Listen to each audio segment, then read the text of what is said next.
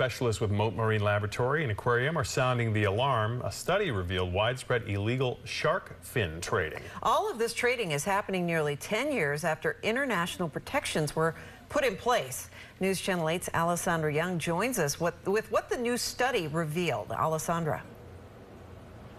Stacy and Josh, hey there, good evening. So sharks are known to frequent these waters here near the Skyway Bridge, especially hammerheads. Now, researchers with Mote tell me this study they conducted is the largest one of shark fin trading that has ever been done. And what they found was shocking.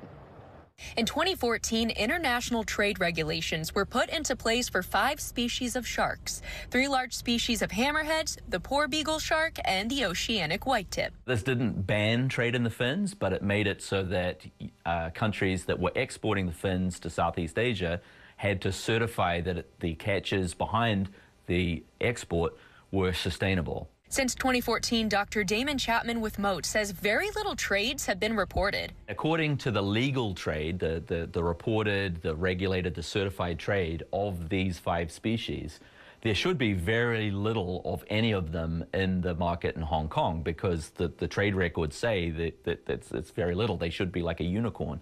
But their study showed that's not the case. These researchers went to the Hong Kong market and used DNA testing to figure out what species of shark fins were being sold. We looked at close to 20,000 samples over this, this seven year period.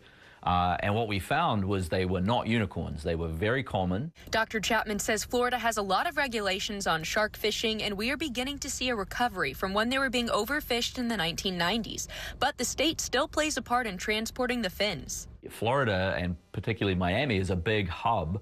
Uh, for fins being uh, being basically harvested in, in Latin America and then coming through the airports here and then going out to Asia.